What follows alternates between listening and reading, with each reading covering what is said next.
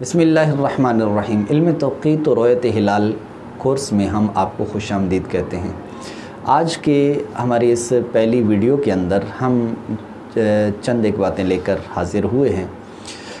سب سے پہلی بات تو ہم یہ آپ کو بتائیں گے کہ یہ آن لائن کورس ہم نے کیوں شروع کیا ہے اور وہ بھی خاص واٹس ایپ پر۔ دیکھیے، جب بھی ہم کسی کو بات کرتے ہیں اور کسی کو جب ہم کوئی ویڈیو دیتے ہیں، جیسے یوٹیوب پر ہمارا ایک چینل ہے اسلامک ایسٹرانومی کے نام سے۔ اس کے اندر مختلف قسم کی ویڈیوز ہیں۔ مختلف ٹاپکس پر ہم نے بنائی ہیں۔ تو جب ہم کسی کو کہتے ہیں کہ جناب، آپ وہاں پہ یہ کورس کر لیں، جس کے لیے ہم نے شروع بھی کیا تھا علم توقید کورس اس میں سے کچھ ایپیسوڈز ہم نے ویڈیوز وہ ڈالی ہیں، لیکن وہ مکمل نہیں ہو پایا تھا۔ تو جب ہم کسی کو کہتے ہیں کہ جناب آپ یوٹیوب پر یہ کورس کر لیں۔ تو وہ کہتے ہیں، جناب، یوٹیوب کے لیے ہمارے پاس پیکج نہیں ہوتا۔ آج کل واٹس ایپ وہ فری میں ہے، لہٰذا ہم فری کال بھی کر لیتے ہیں، ویڈیو کال، آڈیو کال کر لیتے ہیں۔ تو اس لیے ہمیں واٹس ایپ پر جو بھی دینا ہے واٹس ایپ پہ دیں۔ ہم نے کہا، چلو ٹھیک ہے، پھر ہم واٹس ایپ کے اوپر آ جاتے ہیں۔ کیونکہ ہمارا مقصد یہ ہے کہ اس علم کو عام کرنا، اس علم کی اہمیت کو لوگوں کے ذہنوں کے اندر اجاگر کرنا۔ تو اس لیے یہ واٹس ایپ آن لائن جو کورس ہے یہ ہم نے مرتب کیا ہے اور اس کے اندر ہم یہ کوشش کریں گے کہ آپ کو مختصر سے وقت کے اندر اور مختصر الفاظ کے اندر ہم اپنے مقصود کو بیان کریں۔ تو اب جس چیز کو آج ہم نے بیان کرنا ہے، وہ ہے علم توقید کا تعارف۔ کہ علم توقید ہے کیا؟ دیکھیے توقید کہتے ہیں وقت کے مقرر کرنے کو۔ اور علم کا مطلب علم ہے یعنی ایسا علم کہ جس کے اندر وقت کو مقرر کیا جاتا ہے۔ لیکن کس چیز کا وقت مقرر کیا جاتا ہے؟ یاد رہے کہ سب سے پہلے جو بنیادی علم ہے، وہ علم فلکیات جس کو ایسٹرانومی کہتے ہیں، یہ ہے۔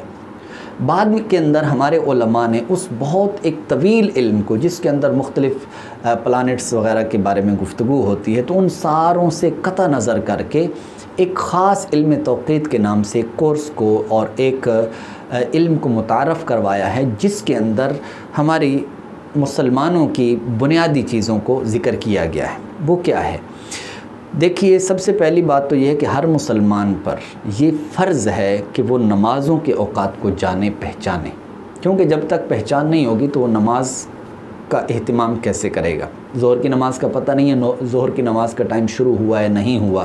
تو پھر یہ کیسے نماز کو شروع کر سکتا ہے؟ فرض کریں کہ ایک مسافر ہے، وہ کہیں پر جا رہا ہے۔ اب اس کو پتہ نہیں ہے کہ جناب زہر کا ٹائم داخل ہوا ہے کہ نہیں۔ اگر پتہ چل جائے کہ ہو گیا ہے تو پھر اس کے مطابق وہ نماز ادا کر لے گا۔ اگر نہیں ہے تو پھر نہیں کرے گا۔ لیکن یہ پتہ کیسے چلے گا؟ اس کے لیے بنیادی طور پر جو چیز ہے، جو ہر مسلمان پر فرض ہے، وہ وقت کی پہچان ہے۔ اب وقت کی پہچان کے لیے ہمارے پاس جو شرعی طریقہ ہے وہ کیا ہے اس کو میں ابھی عرض کرتا ہوں۔ لیکن علم توقید کے تعارف کے لیے یہ بات بتانا ضروری ہے کہ یہ کیا ہے۔ تو بنیادی طور پر ہر مسلمان پر یہ چیز تو لازم اور واجب تھی کہ وہ وقت کی پہچان کرے تاکہ اس کو نمازوں کے اوقات کا پتہ ہو تو پھر نمازوں کو اپنے صحیح وقت پر ادا کر سکے۔ لیکن ہمارے علماء نے کیا کیا، ایک ضرورت درپیش ہوئی۔ وہ کیا؟ بعض علاقوں کے اندر آپ نے دیکھا ہوگا کہ وہاں پر دور دور تک درخت ہوتے ہیں، بڑی بڑی عمارتیں ہوتی ہیں، بڑے بڑے پہاڑ ہوتے ہیں۔ تو اب شرعی اعتبار سے طلوع کب ہوگا؟ غروب کب ہوگا؟ تو اس کے لیے جو حقیقی افق ہے حقیقی جو افق جس کو ہم افق مرئی کہتے ہیں یعنی جس کے اعتبار سے سورج غروب ہوتا ہے، جس کے اعتبار سے سورج طلوع ہوتا ہے۔ تو اب یہ جو افق ہے، یہ افق کئی مقامات پر ہمارے لیے اس کا، اس کی جو پہچان ہے یا اس کی یہ چیز ہمیں حاصل ہو جائے، یہ بہت مشکل ہو جاتی ہے۔ جیسے ابھی آپ شہروں میں دیکھ لیں، خیر میں تو پرانے زمانے کی بات کر رہا ہوں کہ ہمارے پرانے زمانے کے اندر بھی ابتدا یہاں سے ہوئی کہ درخت ہیں اور درختوں کے پیچھے جا کر سورج چھپا۔ اسی طرح پہاڑ ہیں، پہاڑوں کے بعد جا کر سورج چھپا ہے۔ تو اس کو ہم شرعی غروب تو نہیں کہہ سکتے۔ اب یہ نہیں کہہ سکتے، اس کو ہم آگے انشاءاللہ افق کے بارے میں جب ہم بتائیں گے آپ کو تو اس ٹائم ہم یہ آپ کو بتائیں گے کہ کس طرح شرعی طور پہ طلوع ہے اور شرعی طور پر غروب ہے۔ تو افق کیا ہے اور شرعی طور پہ طلوع کیا ہے، شرعی طور پہ غروب کیا ہے، اس کی پہچان کیا ہے، یہ آگے ہم بیان کریں گے۔ لیکن یہاں پر ایک ضرورت کی بات کر رہا ہوں کہ علم توقید کی ضرورت کیوں ہوئی؟ علم توقید کی ضرورت اس لیے ہوئی کہ وہ بڑے بڑے پہاڑ ہیں۔ جیسے فرض کریں کہ ایک شخص ہے، وہ کسی ویلی میں رہتا ہے، وادی کے اندر رہتا ہے۔ اب ایک طرف بھی اٹھے ہوئے پہاڑ ہیں، دوسری طرف بھی اٹھے ہوئے پہاڑ ہیں۔ اب یہ جب صبح کے ٹائم تقریباً دس بجے کے قریب دیکھتا ہے تو سورج پہاڑی سے طلوع ہو رہا ہوتا ہے۔ دوسری طرف پہاڑی سے پہاڑی کے پیچھے چھپ رہا ہوتا ہے۔ اب وہ تین بجے کا وقت ہے، تو کیا مطلب؟ کیا وہ دس بجے تک فجر کی نماز پڑھ سکتا ہے؟ کیا جیسے ہی تین بجے سورج اس کے پیچھے پہاڑی میں چھپا، ڈوب گیا؟ تو کیا کہیں گے کہ جناب اب مغرب کا ٹائم ہو گیا ہے؟ نہیں۔ تو یہ ہم پہچان آپ کو عرض کریں گے۔ تو یہ ایک بنیادی وجہ بنے کہ جناب یہ شرعی طور پر نہ طلوع ہے، نہ ہی اس طرح غروب ہے۔ تو پھر کیا کیا جائے کہ اس مقام کے لیے حقیقی طور پر ہم اوقات معلوم کریں کہ جناب طلوع کب ہے اور غروب کب ہے؟ اللہ تعالیٰ نے انسان کو یہ صلاحیت دی ہے کہ انسان نے مختلف علوم کو ایجاد کیا۔ ان میں سے ایک علم وہ ریاضی ہے، میتھ ہے۔ اور میتھ کے اندر بھی کئی اس کی برانچز ہیں، اس کی مختلف شاخیں ہیں۔ ان میں سے ایک شاخ ہے ٹرگنومیٹری۔ تو ٹرگنومیٹری کے ذریعے، تکونیات کے ذریعے سے یہ ایک علم ہے، اس کے ذریعے سے ہمارے علماء نے پھر اس پر کام کیا۔ اور وہ کام یہ کیا کہ انہوں نے مختلف قسم کے فارمولے بنائے، مختلف قواعد وضع کیے۔ مختلف قسم کی وہ قواعد کیے جس کے ذریعے سے، ان قواعد جو میتھ کے ہیں، ان کے ذریعے سے پھر یہ طلوع، غروب، عصر، مغرب عشاء ہو گیا اور اس کے علاوہ اوقات جو ہیں، ان کو معلوم کرنے کے لیے انہوں نے ان قواعد کو وضع کیا، ان کو بنایا اور بنانے کے بعد پھر ایک خاص علم، ایک خاص علم مقرر کیا اور اس کے اندر صرف انہی چند قواعد کو رکھا۔ ان میں سے ایک یہ ہے کہ جن ایک ایسے ایسا قاعدہ ہے کہ جس کا تعلق ہے اوقات کے ساتھ، نماز کے اوقات کے ساتھ۔ دوسرا ایک قاعدہ ہے جس کا تعلق ہے سمت قبلہ کے ساتھ، کیونکہ سمت قبلہ بھی بہت ضروری ہے۔ تو اس لیے اس سارے علم کو اس کے اندر رویت ہلال بھی شامل ہے۔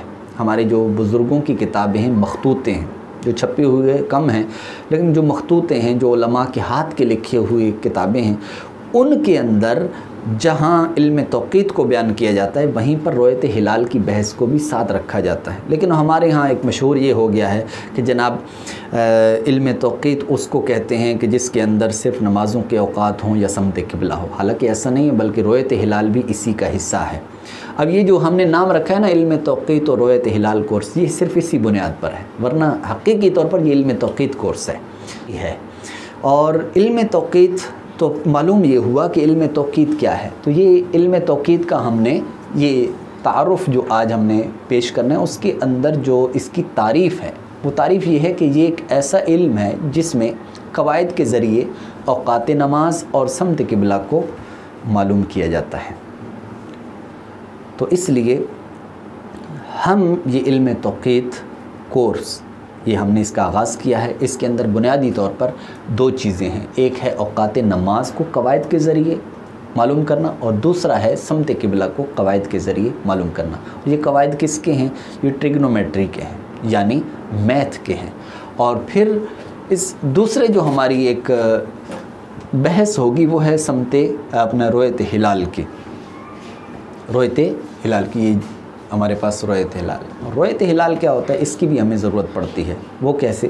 کہ ہمارا جو قمری مہینہ ہوتا ہے، ہماری عبادات کا، بہت ساری عبادات کا تعلق چاند کے ساتھ ہے۔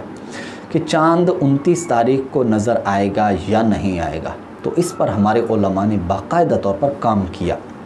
اور کام کر کے انہوں نے اس چیز کو واضح کیا کہ جناب، اور ایسے قواعد انہوں نے بیان کیا اور مشاہدات، برس ہا برس مشاہدات کیا کہ جناب کون سے عوامل ایسے ہیں، پیرامیٹرز ایسے ہیں کہ جن کے ذریعے سے چاند انتیس تاریخ کو پتہ چلے گا کہ قابل رویت ہے یا نہیں ہے۔ تو اس کورس کے اندر ہم انشاءاللہ العزیز ان کو بھی بیان کریں گے اور مجھے امید ہے کہ یہ کورس کر لینے کے بعد ہم اتنے ہو جائیں گے کہ پوری دنیا کے لیے تقریباً، پوری دنیا کے لیے ہم اوقات نماز نکال سکیں اور پھر اس کے بعد اچھا یہیں بیٹھ کر نکالیں گے ایسا نہیں ہے کہ وہاں جانا پڑے گا۔ یہیں بیٹھ کر آپ کو یہ اوقات آپ کیلکولیٹر کی مدد سے نکال سکیں گے۔ اور دوسرا یہ ہے کہ رویت ہلال یعنی کسی بھی زمین کے حصے میں انتیس تاریخ کو چاند کی کیا پوزیشن ہوگی؟ قابل رویت ہوگا یا نہیں ہوگا؟ ہم اس چیز کو انشاءاللہ امید ہے کہ ہم جان سکیں گے۔ تو آج کے لیے ہمارا یہ جو پہلا لیسن ہے وہ یہیں پر اختتام پذیر ہوتا ہے۔